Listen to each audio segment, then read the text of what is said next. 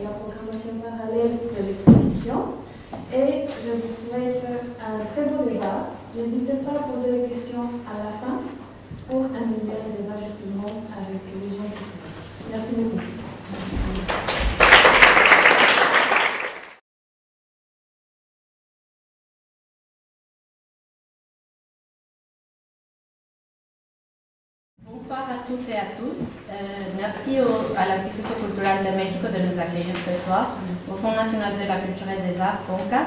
Euh, un grand merci aussi Alicia, Alma, Camille et Karen et Mercedes pour sa générosité. La, la table ronde de ce soir sera en anglais parce que c'est la lingua franca. Et si vous avez besoin d'une petite traduction, ça sera à la toute fin s'il y a quelque chose que vous n'avez pas compris. Les questions aussi vont être à la fin. Et quand j'étais étudiante d'histoire de l'art, il n'y avait presque, il n'y avait pas d'études de genre au Mexique. Nous étudions presque, euh, presque pas les femmes artistes, euh, sauf Frida et Maria, avec leur prénom seulement. Et les hommes, euh, Rivera ou los Quesiqueiros, utilisaient leur nom de famille. Les femmes étaient presque invisibles. Cette question de l'invisibilité des femmes artistes dans l'histoire de l'art m'a toujours préoccupée.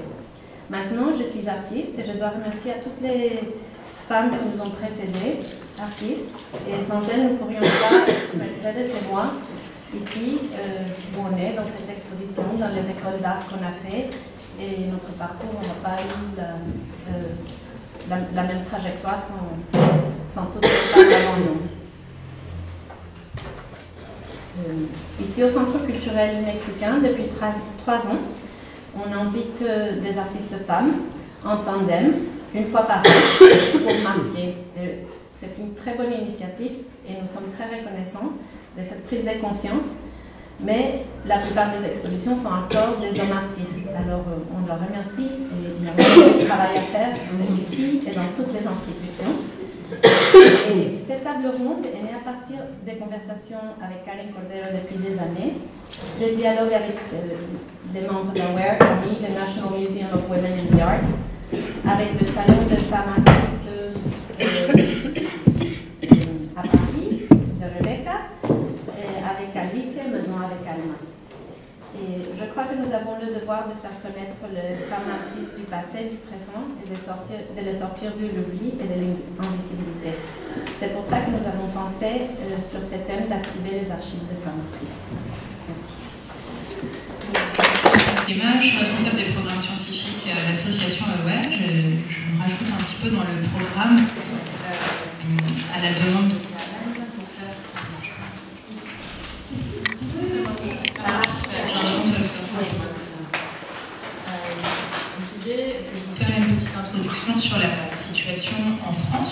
et le contexte euh, aussi euh, des institutions publiques, comment, parce qu'on est à un moment assez charnière en fait, euh, puisqu'il y a des choses qui se passent. Et je voudrais commencer en évoquant une, citation de Charlotte Fouché, qui est une chercheuse qu'on a invitée à plusieurs reprises à s'exprimer sur le sujet des artistes femmes. C'est une historienne de l'art qui s'intéresse beaucoup aux artistes femmes, aussi aux, aux historiennes de l'art femmes et dont elle essaie de retrouver la trace. Et en fait, elle dit que euh, pour la question des femmes artistes, il faut passer par le genre de la monographie, donc un genre assez classique, retracer les vies, retrouver avec finesse les détails euh, de leur vie, mais il faut aussi passer par le quantitatif, parce que la question des chiffres est implacable et elle montre euh, le sexisme à l'œuvre dans les mondes de l'art. Donc moi, je vais principalement vous parler de quantitatif, de chiffres, et les intervenantes ensuite euh, vont sans doute davantage parler des sources, des monographies qu'elles ont pu établir et euh, des expositions qu'elles ont pu construire à partir de leurs recherches. Donc, cette pratique du comptage, elle euh, s'engage dans les années 70 avec la deuxième vague du féminisme. Donc il y a plusieurs collectifs d'artistes féministes qui commencent à compter la présence des artistes femmes dans les expositions, dans les galeries. je pense que vous connaissez bien le travail des Gary Eggers dans les années 80 qui l'ont formalisé. Euh, à travers des affiches, des vidéos, euh, des, projections euh, sur les immeubles. Donc un travail assez visible et qui reste visible encore aujourd'hui. Mais les comptes ont continué et se sont amplifiés et ils ont aussi été faits par les institutions elles-mêmes à partir des années 2000 et je vais surtout vous parler du cas français. Donc en fait nous on a commencé à compter, enfin quand je dis nous, les institutions publiques ont commencé à compter en 2006 puisque le ministère de la Culture a demandé un rapport sur la présence des femmes euh, dans le secteur plutôt euh, du spectacle vivant. Il y a eu deux rapports, en 2006 et en 2009, qui s'interrogeaient sur qui dirigeait les théâtres, qui dirigeait les opéras, qui dirigeait les centres graphiques. Et là, en fait, ça a été une espèce de coup de poing de réaliser à quel point les chiffres étaient effrayants puisque les directeurs de tous ces établissements-là étaient bien sûr euh, à grande majorité des hommes, mais vraiment à très très grande majorité, c'est-à-dire entre 80 et 90% des cas, euh, c'était des hommes et les femmes étaient très peu présentes à la direction des institutions. Alors on parle euh, des directeurs d'institutions, mais ça découle aussi en fait sur les contenus des programmations, donc les musiques composées, les pièces de théâtre qui sont montées, les œuvres chorégraphiques qui sont jouées, à une majorité écrasante étaient celles aussi d'hommes. Donc il y a eu ce premier rapport en 2006, un deuxième en 2009, les chiffres n'ont pas tellement changé. Et donc en 2006, quand paraît ce premier rapport, euh, qui vous parlera après son parcours, est en train de commencer ses recherches sur l'exposition Elle à Centre Pompidou, qui est un accrochage euh, qui sera présenté au Centre Pompidou entre 2009 et 2011, uniquement composé euh, d'œuvres d'artistes femmes issues des collections. Et donc, euh, Camille compte aussi. Et donc, elle, elle découvre qu'il y a 18% de femmes artistes qui sont dans les collections du Musée national d'art moderne, mais que seulement entre 8 et 10% sont présentées dans les salles. Et c'est aussi cette réflexion-là qui a mené euh, à l'accrochage Elle, donc avec 100% d'artistes femmes dans les salles. Les choses progressent encore un peu dans le comptage en 2013, puisque le président de la République, euh, François Hollande, pardon, crée le au Conseil pour l'égalité femmes-hommes et également un observatoire de l'égalité entre femmes et hommes dans la culture et la communication. Donc en fait là, il va y avoir une production de chiffres très spécifiquement sur les établissements qui sont sous tutelle euh, du ministère de la Culture avec une parution annuelle tous les, tous les mars. Et euh, bon, voilà, chaque année, il y a cette production de chiffres qui permet de réaliser le chemin à parcourir et donc on a eu le sixième rapport qui est paru cette année, et les chiffres sont toujours mauvais, mais bon, cette fois on a le loisir d'en prendre conscience, puisque ces chiffres sont produits par le ministère. Donc je vous en donne quelques-uns. Dans les FRAC, 23% des artistes qui sont exposés sont des femmes. Dans les centres d'art, le score est un petit peu meilleur, c'est 31% des artistes femmes qui sont exposés. Dans le domaine des acquisitions, c'est toujours très bas. Donc le FNAC, qui est le Fonds national d'art contemporain, euh, acquis en 2016 à qui en 2016 seulement, seulement 12% de femmes, donc c'est un chiffre très très faible alors qu'ils avaient fait un bien meilleur score l'année précédente. Et dans les FRAC, donc les fronts régionaux d'art contemporain, on est à 22%. Mais par contre, il y a quelque chose qui a changé cette année, euh, puisque ce rapport a été accompagné de deux autres documents. Le premier était un rapport rédigé par le Haut Conseil à l'égalité entre les femmes et les hommes, qui s'appelle Égalité dans la culture, le temps de l'action. Et donc, c'est un rapport qui revient, en fait, en célébrant les 10 ans euh, du rapport ENPRA, un peu plus, et en disant que les choses n'ont toujours pas bougé, et par contre qu'il faut agir. Et donc, ce rapport établit des propositions et parmi ces propositions, il y a une, grande partie qui est consacrée au fait de créer de l'information sur les artistes femmes, ce qui pourra faire évoluer les chiffres en fait dans la programmation. Et à ce rapport, quelques semaines après, euh, la ministre de la Culture s'est aussi engagée, puisqu'en février 2018, elle a publié une feuille de route qui s'appelle Égalité 2018-2022 et qui approuve ces recommandations et qui entend euh, les mettre en œuvre. Voilà, c'était un point euh, très rapide de où nous en sommes en France. Donc il reste, euh, comme vous voyez, de très nombreuses choses à faire, mais en tout cas les mentalités changent et surtout les institutions publiques soutiennent des initiatives qui vont dans le sens d'une plus grande visibilité euh, des artistes femmes. Et je pense que du coup Camille va déjà pouvoir parler en tout cas du projet Aware.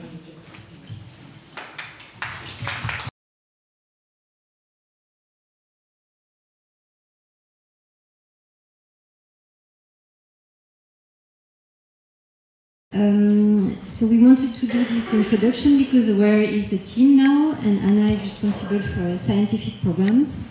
And the reason she was talking about numbers is that um, our action at the uh, Archive of Women Artists Research and Exhibition is to uh, turn around the statistics uh, with a tool, a very simple tool, um, in, in, in order to provide more information on women artists so that students um, visitors or anybody can, can learn more about women artists, show them in exhibitions, acquire them in museums, publish them, write about them, in order to uh, create uh, what we call in French un cercle vertueux, a virtuous cycle, so that all these women artists who have worked and produced works um, are visible in history.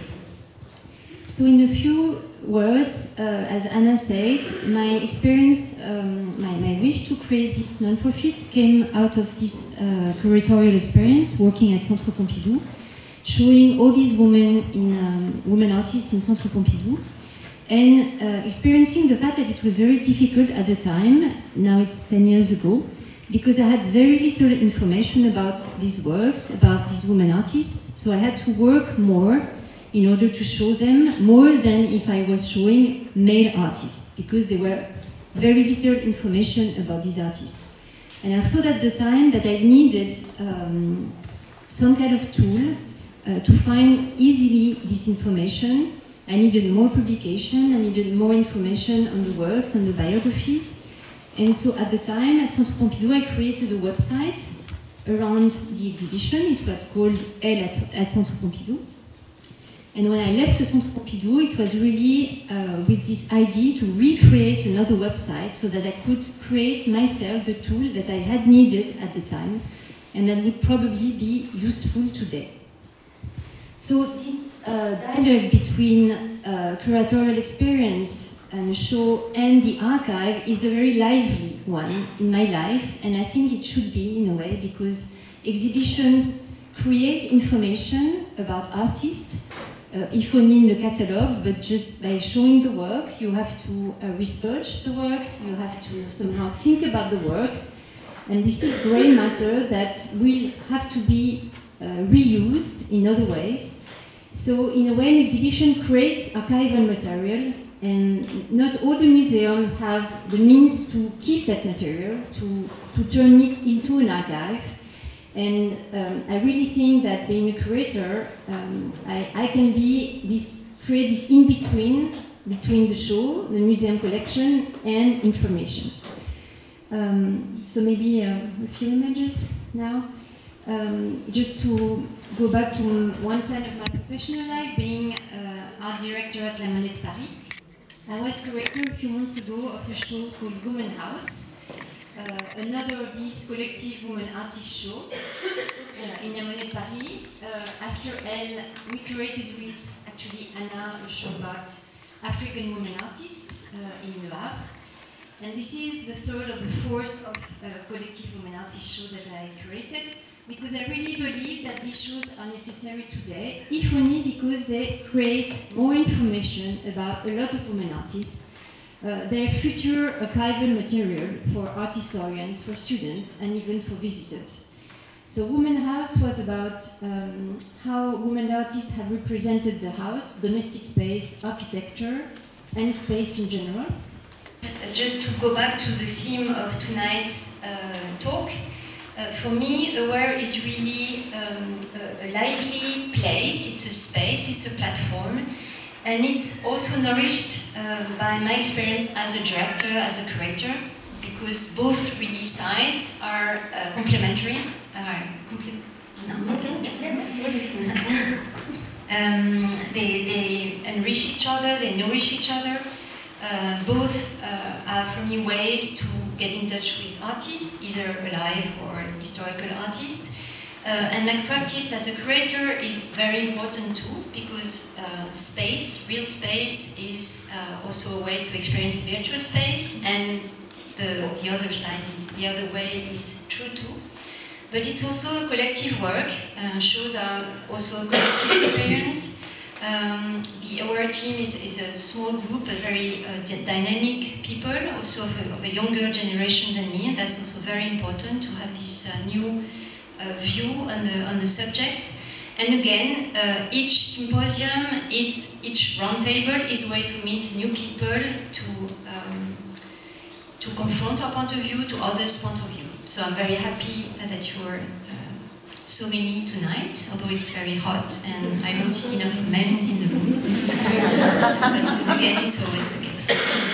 So thank you for your attention. A few more images of the recent events we did few images of the prize, which was given by the Minister of Culture in France, a show we did in Les Archives for the last edition of the Aware Prize, and a very last program we initiated a few months ago called Paris C'est uh, in public space, because I believe that public space is the last um, plafond de verre, is the last glass ceiling.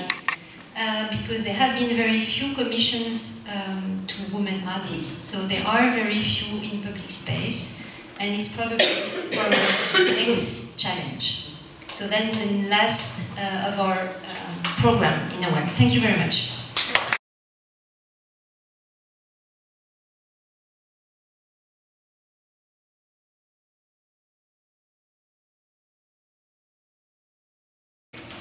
And I'm going to talk a little bit today about some, some of the ways in which feminist art and feminist art history in Mexico have worked to visibilize and analyze the work of women artists, but more importantly to explore new ways of narrating art history, and particularly the history of women artists from a feminist perspective on the basis of a critique of the hierarchical power relations and pose of objectivity that tend to inform those, those fields.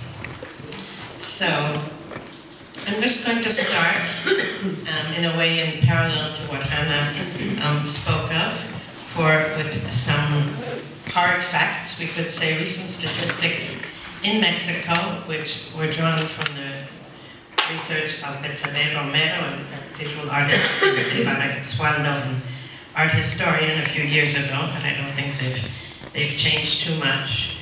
And as we can see, the panorama is also um, somewhat bleak, maybe even sort of parallel, but a little, perhaps a little worse even in some cases to what Hanna described for France.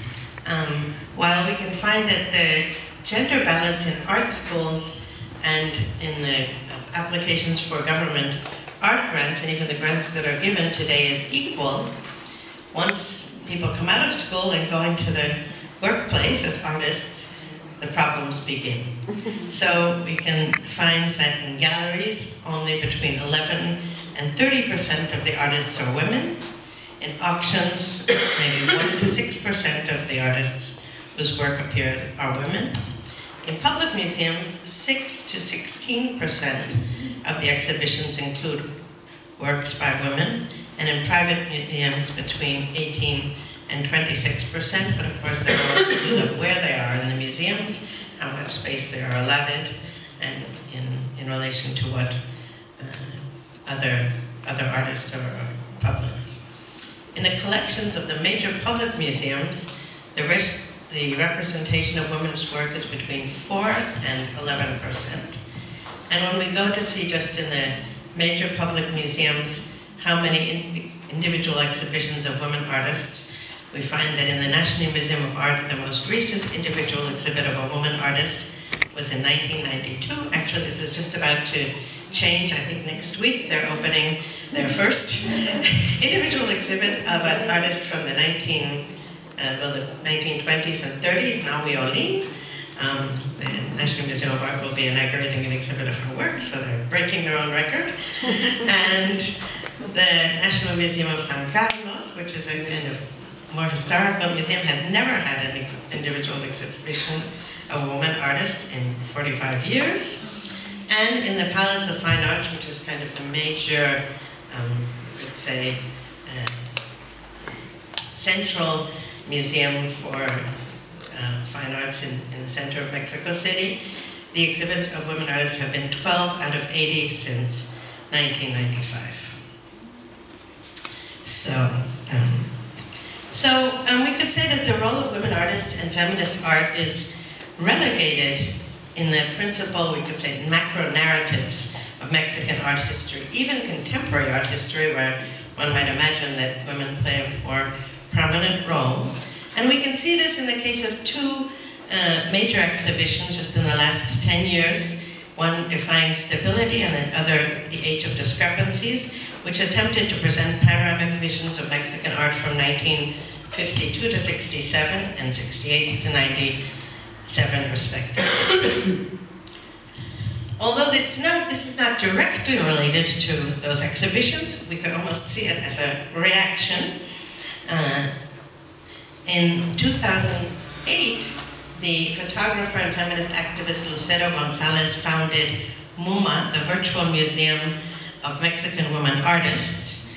And this year we're celebrating our 10th anniversary. It's a museum which is an online museum website, kind of similar to Aware, and it's coordinated collectively by a group of feminist artists, art historians, and art journalists. It has an online platform which includes bi-monthly exhibitions.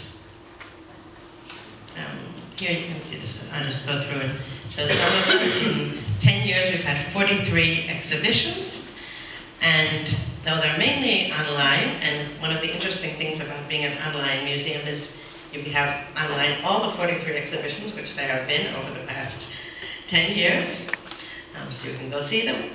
And uh, some of them have become physical exhibitions, and in other cases, some of them document physical exhibitions. We hope that very soon this exhibition, in fact, with Mercedes and Cari will be part of be part of MUMA. Here's just one example of one, one recent exhibition by Judith Romero, which is, uh, she's a photographer and did testimonies and photographs of women who have decided not to have children.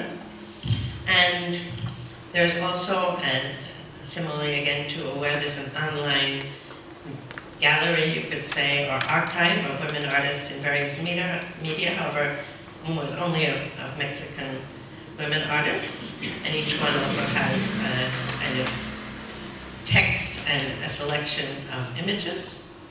And there's also an online library, Biblioteca and Women Artists Alliances, which gives people an access to information. And in some, in some way tries to avoid the problem that people always say, where can I find information on, on women artists and, and women in art and students who want to study this can go there and find often um, different basic texts, bibliography, which will allow them to navigate in this field. And it's also a, a way of putting texts about Mexican women arts out there. So um, there also have been other ways through the work of artists themselves of addressing this invisibility of feminist art in more performative ways. One of them is the work, the performative work Archiva, which was created in 2013 by the Mexican pioneering artist, feminist artist, Monica Mayer. And she created in, in 2013 this project ironically titled Archiva, Masterpieces of Feminist Art in Mexico. And as she points out in the quote you can see here, her definition of feminist art is that the artists are defined as feminist by their practice, um, not necessarily uh, all of them are militant or activists as feminists, but on the basis of the, both the content and the context of their work, she defines them as feminist artists. And this has actually been a very useful definition for me, and I think it's a, it's a useful tool for, uh, in, a, in a situation where often both feminism and feminist art are not very clearly understood. What is feminist art? What makes it feminist? Who is a, who is a feminist artist? So uh, Archiva includes 70 odd uh, artists, each of them with a card with information on their work.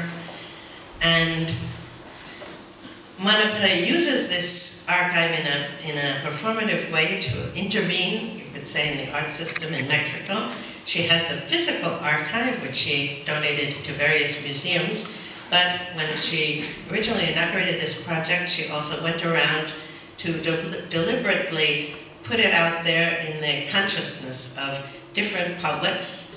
First and foremost, the feminists themselves, who often many feminists, you know, people in feminist groups are not aware or don't really consider art as an important part of feminism or an important uh, tool for feminism.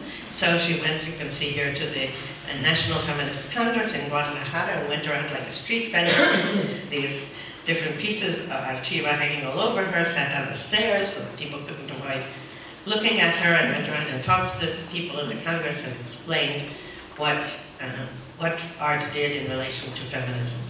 So this was a more kind of interactive way in keeping, as we'll see with her work, for creating a, an archive of feminist art. Okay. Um, and well, another way in which um, in feminist, feminist art has tried to intervene in the public consciousness actually arose from the, as an activation of the presentation of Archiva in a, what we call a retro-collective exhibition of Monica's work in the University Museum of Contemporary Art in 2016. And there we inaugurated uh, the uh, Wikipedia editathon, I guess you would call it, uh, of women artists, which is linked to the broader art and feminist project based in New York and now is an international movement, basically with the idea of not only including more Mexican women artists in Wikipedia, which is uh, one of the most widely consulted uh, encyclopedias online, but also very important to changing the ways in which in Wikipedia the, the people write and therefore read about art. Often feminist artists or women artists in general are identified by their relation to other artists. In many cases, as we can see, in this one small example, uh, women artists, when recognized, are often linked to or validated in relation to a genealogy of male artists and an art history dominated by male artists and masculine subjectivities and social experience. Mm -hmm. Just as one example, the Mexican artist Isa Gradwell was praised by um, Rufino Tamayo for the virility of her work, which of course was a good thing. okay. I'll go, I'll go quicker. And, but how much more time do I have? Two minutes. I got one. Okay. Well, I'll leave out about half of this, yes. But, um, the discussion. So the role of the archive is also an important element, as Carrie mentioned, for recuperating the lives and the work of, of women artists and Maria Izquierdo was, required, was acquired recently by the Museum of Modern Art in Mexico City, and a few years ago they did an exhibit of her work, some examples of which you can see here. And there, uh, through that archive, it's possible to see her not only as an extraordinary painter and uh, artist, but also as a writer, as a mediator, as a cultural ambassador in, uh, in various parts of Latin America, and also to see the very striking reaction and very painful reaction she had when um, her mural commission in the City Hall of Mexico City was canceled in 1945 at the request of artists like Diego Rivera and David Alfaro Siqueiros. So here are some images of that work. And one of the interesting things I'd like to talk about is also, as a university professor and a teacher, one of the most important tools that we have used is working with students and with archives of women artists, getting them there into the archive very physically, as was the case when we worked with the archive of Fanny Rabel, who's an artist of the um, of, of Polish origin who came to Mexico early in her life and was a very important artist from the 1920s, 30s up to, well, she, she actually died about um, 10 years ago.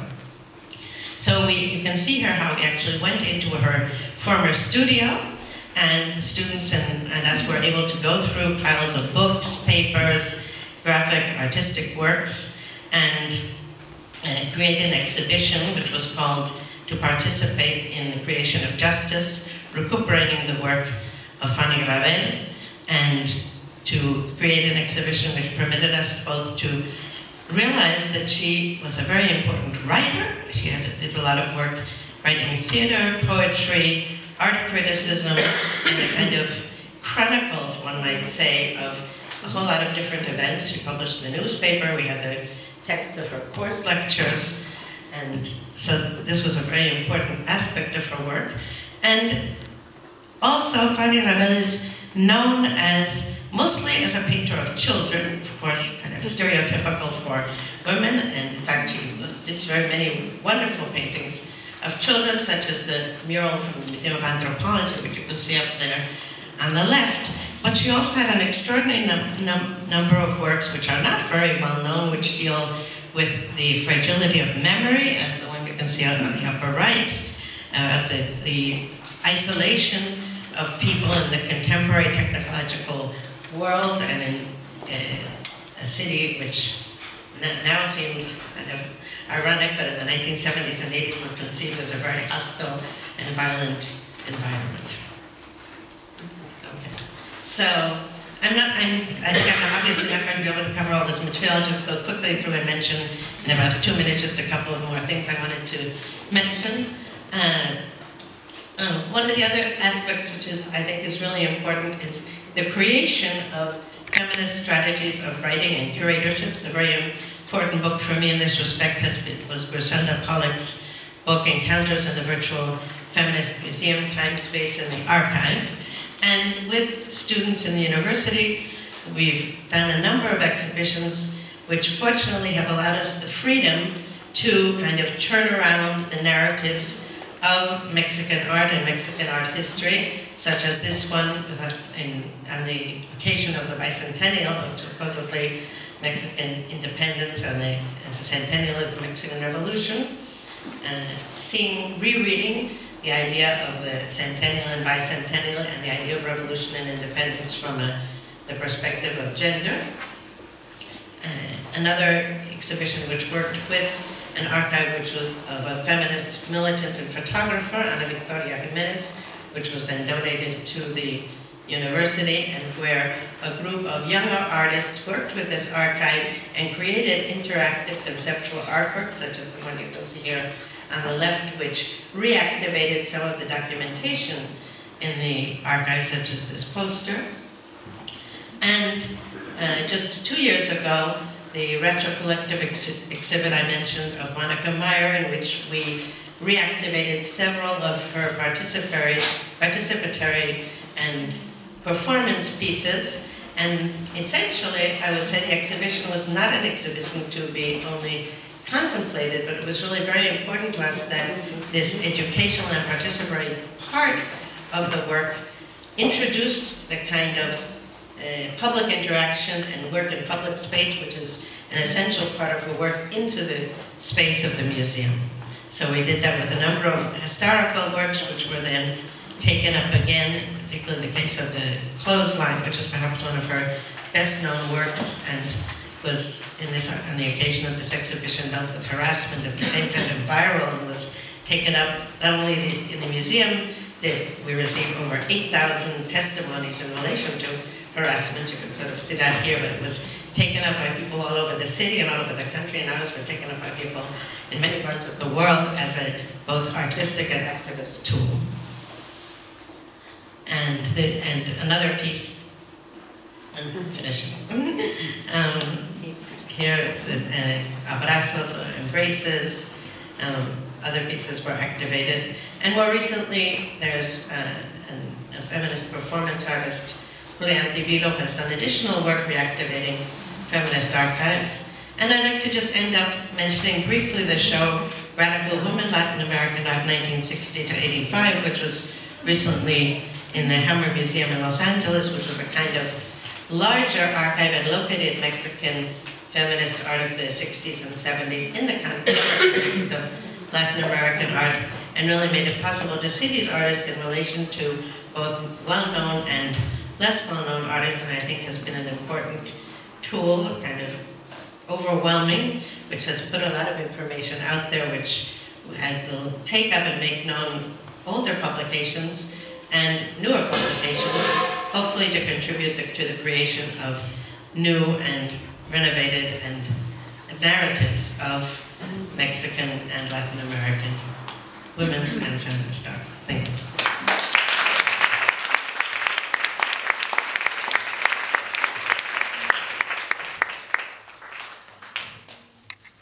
There are two words that resonate a lot to me. Um, the first one is invisibilization, and the other one is women. Um, so, of course, they often go together, um, but I would say that my um, my action uh, and dedication within the Centre Pompidou as a curator for contemporary art um, kind of um, deals with different types of invisible uh, artists. Um, because I'm uh, not only trying to um, well to expand the collection and the museum program um, towards well more female artists in the collection, but also try to expand the collection towards Africa and the diaspora, African American artists that are missing in the collection, and uh, Central Europe. Um, so of course I really hope to kind of be able to cross all the criteria at some point, but I must say that for the moment I have to, uh, I'm acting step by step, uh, and so uh, of course, women have been, female artists have been uh, something I, have been uh, fighting for. And in this sense, I also wanted to, uh, this talk actually gives me the opportunity to thank Camille, Camille Morineau, because without her action and without Elle at the Centre Pompidou, I think it would be much more difficult for me to be able to continue this battle and fight this battle also um, in um, well, in an expanded way, I, I hope. Um, so I don't know if I should be completely terrified by the, the numbers uh, Hanna just mentioned when we started, or if, if, then I should be reassured by the Mexican numbers that are so terrifying. Uh, but I would say, and I think I can, I can say that, uh, there is still a very long way to go within the Centre Pompidou and within public institutions in France to um, well to be able to show more women artists, um, collect more women artists, and show them within, uh, of course, solo shows, um, maybe shows that are still dedicated to women, of course, and but also thematical shows, historical shows, contemporary shows, and all the shows that we uh, always go to. Um, so. Um, I, I just I realized preparing this talk that in a way uh, my dedication towards women actually, um, well, reached every single field of action uh, uh, within the Pompidou that I'm really operating in.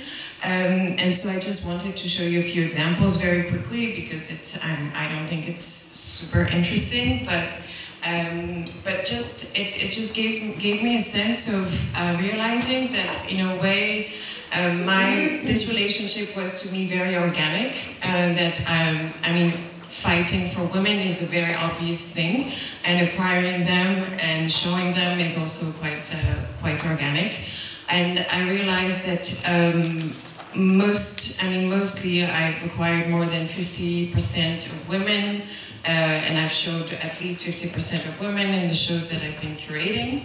Um, it could be more, um, and but it's still uh, it's still something. So thanks for this talk for helping me to kind of collect all the information.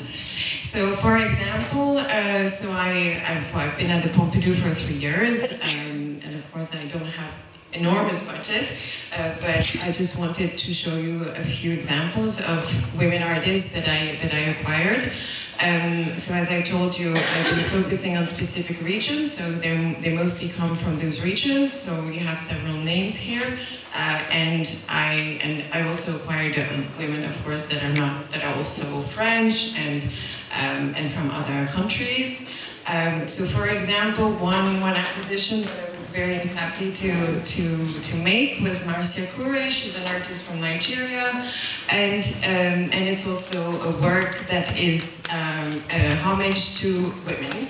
Uh, it's called The Three Graces, uh, and uh, it's it's it's a nod to classical painting because the three graces are actually well, uh, one of them is um, an Amazon uh, and um, referring to uh, the army of Amazons in Dahomey, Benin, uh, because you know that there is an army of women there. Um, the second figure is a Nigerian Zulu queen, and the third one uh, is the, the um, wife of uh, activist Fela Kuti, uh, and a very important figure in Nigeria and of course crossing different periods of history and different heritage.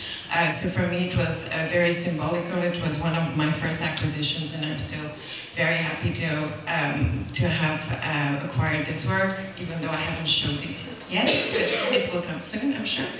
Um, another um, very important figure, again Nigerian, even though she is now Belgian and she lives in Antwerp, Otobong Nkanga.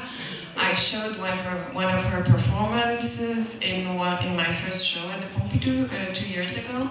And that was also a very beautiful experience because she transmitted it to um, a group of, uh, of, um, of, people and it was very generous and a, a generous experience. And this work is one for me one of her iconic works and summarizes her relationship to the body, to performance, to, uh, and it's, it's a work that deals with um, negotiating the resources of the world, um, and, uh, and, and, it's called The Weight of Scars, uh, which is quite telling too.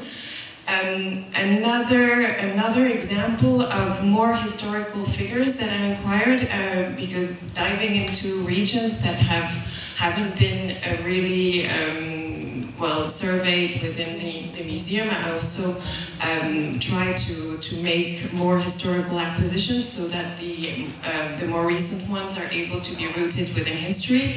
Uh, so I, I, was very happy to acquire the work of two South African women of um, a bit older, but that are really fantastic. Sue Williamson, um, with a very important work from the end of the 90s that is dealing with the history of apartheid and I also acquired a work of uh, Penny Siopis, um, a film uh, dedicated also to this intricate uh, history. Uh, younger positions and also coming from uh, different regions. Um, there are different region, which is of course Central Europe. Uh, Taus Makhacheva with, with an incredible film um, uh, that was showed at the Venice Biennial last year and is talking about, um, well, the fragility of, of heritage and how artworks must always be, um, well, considered as something extremely fragile and uh, almost, um, and this film uh, shows a, a ritual uh, where you see them, some works of the Museum of Dagestan, which is a super local museum, that are being transported from one mountain to another in a very fragile and, and, and beautiful gesture. Uh, Agnieszka Polska, young Polish artist, um, more historical acquisition that I made thanks to my collaboration with a Polish curator, Karolina Lewandowska, who's doing a great, great work also uh, for women and that I want to um, honor now. Um, the different, uh, well, different fields that I'm also um, well, I'm also including women, of course, is the monthly screenings that we're doing uh, within the um, contemporary art and perspective departments. We're invited different women, Jessica Warboys from uh, from the UK, uh, two Russian women, Olga Chernysheva, Anna Yermolaeva, an African uh, African American young filmmaker that I also acquired, and I, recently Agnieszka that I already showed you. I've just launched a series of talks uh, confronting artists and curators that have, that have never met and that meet actually during the conversation. And I've already invited two female curators that are amazing. Uh, Caroline Hancock, based here, but she's here originally from the UK, Maya Ciric from Serbia. And next week, and I hope you can definitely come on the 6th of June at 7 p.m., um, Mam Young, who's a French artist, and Erin Christovale from uh, Los Angeles, young um, curator in the Hammer Museum. Um, within the exhibitions, well, I, am going to skip this. Uh, as I told you, um, this first show that I early that I mentioned earlier, Museum on Off, I invited um, well 50% of artists, of female artists. Uh, that mean that meant already 15. And I also, uh, it was a very special show, and I also kind of opened up the conversation to guest curators, and I just realized that I only invited female curators, of course. One from Brazil, one from Serbia, one from Albania, and one from Russia. Um, and one, one of the specific endeavors, uh, I would say, well, I really tried to fight for a different perspective regarding women was my um, my involvement in the Duchamp Prize in the last two years. Um, kind of, um, I'm not doing it this year, but uh, I've been fighting for the the for the 2016 edition and for the the last one to have at least two women, uh, which um, is now I think something that is that will be stable for the future. Uh, and it wasn't uh, that easy, so you can see here the installation of Yto Barrada and Ulla von on the right. And um, and last year Charlotte Moth and Maya and Maja Bajevic on the right.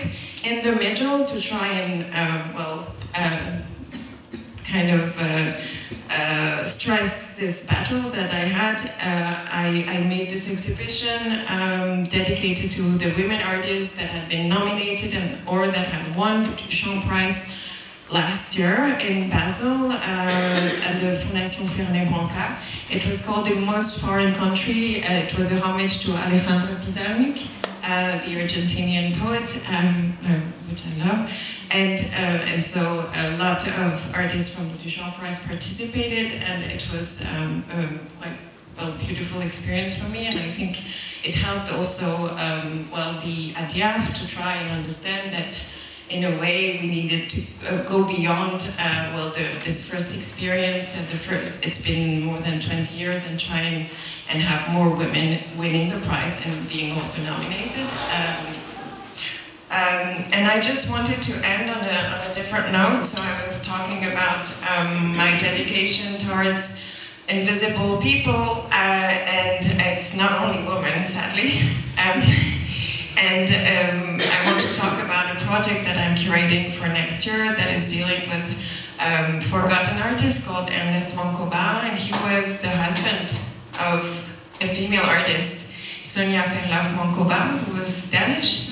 And I just wanted to tell you uh, that within, I mean, in a couple where you have one black artist and one female artist, the female artist actually is gets better uh, and is more recognized. So um, this show will be dedicated to the, the work of Ernest Mancoba and not his, because his wife will be shown in a parallel exhibition curated by a colleague called um, Jonas who's the head of the Drawings and Prints department, but it will be definitely a dialogue between, um, between the two artists and and this I, I love that statement that I found in the archives. Um, I mean, surveying his um, his own uh, trajectory in South Africa, and um, this could be the statement of what I want to do within the Pompidou.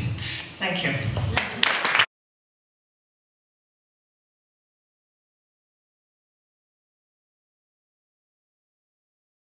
opportune occasion on one hand to have a conversation about the difficulties that women artists encounter in their career, many times solely for being female, and on the other to rejoice in the accolades and the recognition that some are receiving today. Um, so, you know, the world is not perfect, but um, we're trying to make it more balanced and just. so during my tenure as curator at the Museum of Contemporary Art in Los Angeles, I focused mostly on working with underrepresented artists, of which a good number were women. It just so happened that the first and last projects I curated at MOCA were of women artists.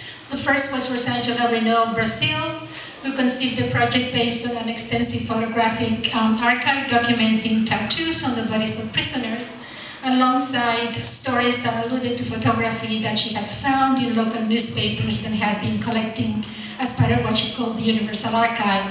Unfortunately, because of the lights, you can't see the text, but the, the, every image was accompanied by um, one or two texts, and they were inscribed in the wall as a scar. She scarred the walls of the museum to create this, this text, and they were in English, Portuguese, and Spanish, which are the languages that she wanted to use in Los Angeles. The last one, an exhibition of the Venezuelan artist Magdalena Fernandez, was initially conceived as a mid-career survey. She would have been the first Latin American woman artist to get this recognition at MOCA, the only other Latin American artist to have an exhibition this large was Gabriel Orozco, whose exhibition I curated in the year 2000. With the advent of a new chief curator in 2015, someone who was preceded by her reputation as a fighter for minorities and underrepresented artists, I was profoundly disappointed when weeks after she settled in, she canceled the Fernandez exhibition, offering a small show instead at the museum's West Hollywood satellite, so that's where it happened. Uh, Rosangeles Rennó's, uh, Rosangela Rennó's 1996 cicatriz, um, the, the title of the exhibition, Scar, inaugurated a period in which the museum committed itself to making artists from Latin America an integral component of its program and collection. So 1996, MOCA made the decision that we're going to start looking at Latin America on a consistent basis. The reason being its proximity to a whole region of Spanish-speaking countries and California's Spanish and Mexican history. Conversely, Magdalena Fernandez 2015 exhibition marked the end of that era. Leaving MOCA, um, my leaving MOCA coincided with my belief that the new administration was shifting gears and the commitment wasn't there anymore. At least not in the same way. I felt it was time to exit. So I left the museum three years ago. In the arc of 19 years, I organized uh, 16 projects and exhibitions that involved artists from Latin America. I also worked on a lot of Italian artists and, and also young emerging artists, uh, mostly from the US. So in addition to the two women artists I have already mentioned, I created the work of Magdalena Atria, Monica Ruboa, Lygia Clark, Vivian Marin, Ana Mendieta, and Mira Schendel, among others. I also made a concerted effort to bring the work into the permanent collection. The best time was when, when I was organizing the exhibition or when the exhibition was on display because there was this general enthusiasm from the board and the staff and so I thought it was the right time to approach them acquiring the work and we did acquire works by many artists. Not Lygia Clark, it became too expensive for us, but we had shown her work several times at MOCA. I also made a concerted effort to bring, well, Mindful of the expected and unexpected roadblocks that I would encounter given the kind of artists I was supporting, I found myself devising strategies to get around them. However, I was also aware that whatever I set out to do, I could not do it alone. That I needed someone's support, a cohort of sorts in a position of power within the museum, who could help me to break down walls and jump over obstacles I did get some assistance um, from colleagues and some higher-ups, uh, but still the efforts fell short of my goals. I mean, I would have liked to do more, and I was assisted and helped And there were collectors who provided funding for acquisitions and exhibitions, but still you always feel like you're not doing enough because women are always underrepresented, no matter what.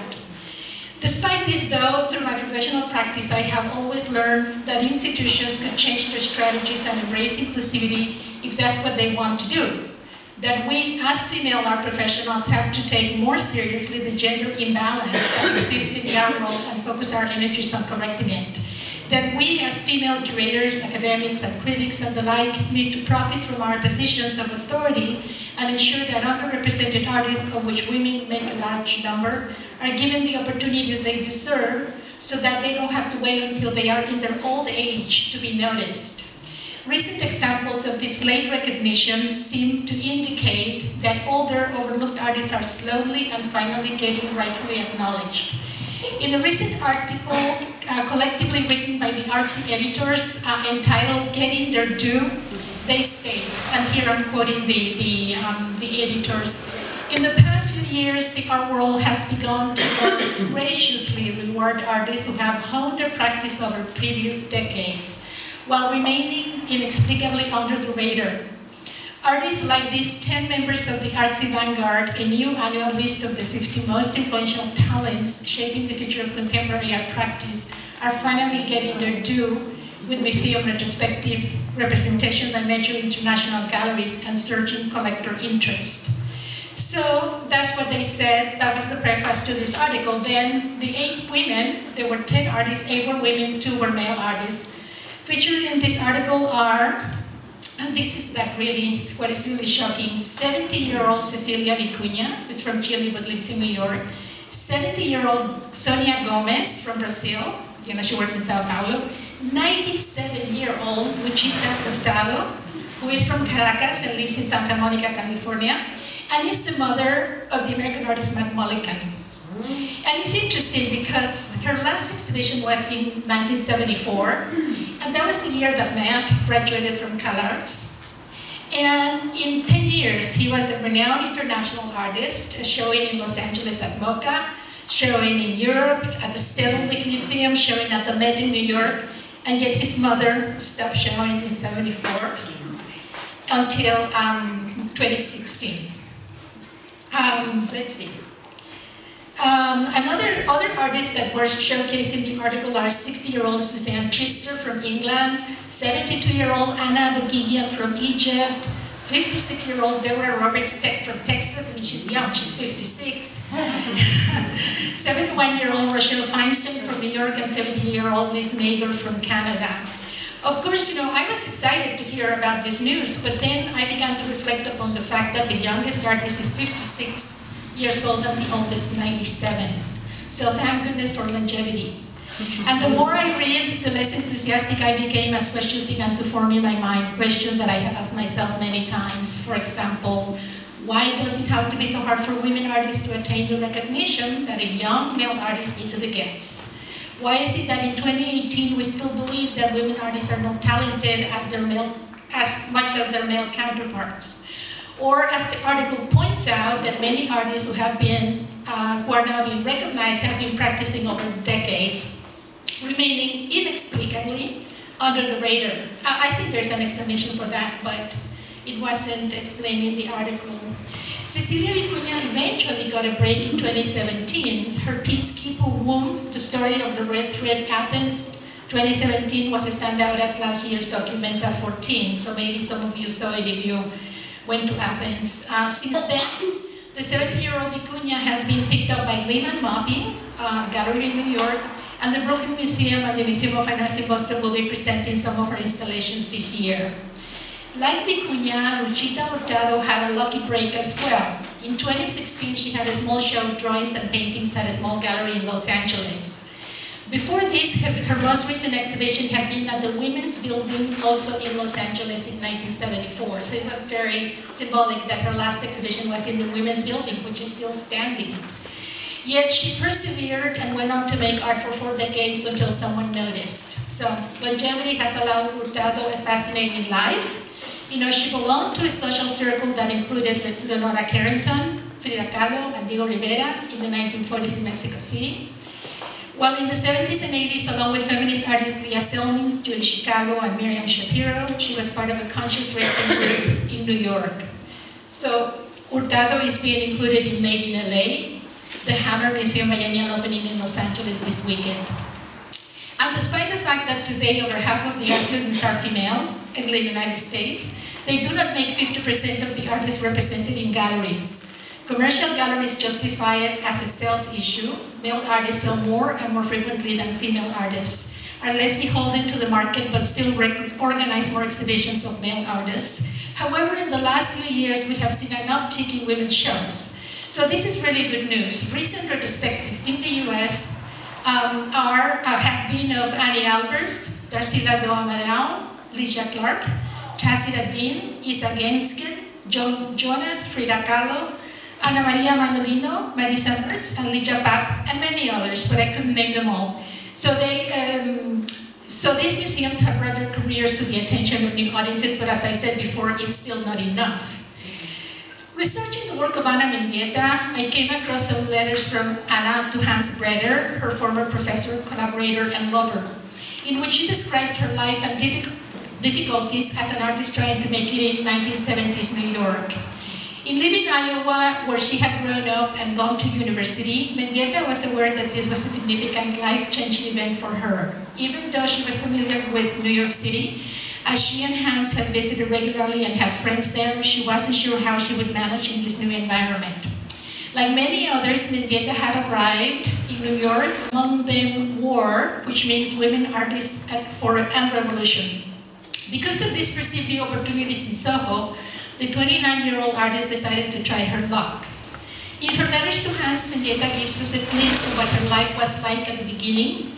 Mixing news of the art world, she said, MoMA is having a retrospective of Sol LeWitt. I will probably walk down to see it. In another letter, she says, de Kooning is also having a big show of works from 1960 to 1977. She also um, tried to have her work shown, and she tells Hans, um, also, I thanked to Maureen, um, I talked to Maureen Orbach today. She has a new gallery in Chambers Street. She's looking at my work on Space. She was helpful. And then she also, you know, um, describes some of the, her life uh, in the city, the difficulties that she encountered in the city by saying, it looks like I will be needing a part-time job. Things are so expensive here. On one occasion, she confesses, I am scared and lonely about my situation, but confident that I will survive. On another, she laments, tomorrow I have to go to an employment office to get food stamps. So were it not for the fact that we know these comments come from Mendieta's correspondence to Hans, we could think that she's describing the contemporary life of many women artists today. Eventually, Anna found support among feminist artists. She had a show at AIR, Artists in Residence, a cooperative gallery founded by women to help women. Anna died at 36 years old when her career was finally taking off. The number of exhibitions that have organized that have been organized after her death is staggering. Sadly, she never got to see the success her work enjoys today. So we are at a junction in which the art world is experiencing permanent changes that benefit women artists. People are listening and trying to correct the injustices and the imbalance that continues to make it difficult for them to achieve well-deserved success. I did not address the sexual harassment that women artists face every day because that is a topic of discussion that will require more time than we have.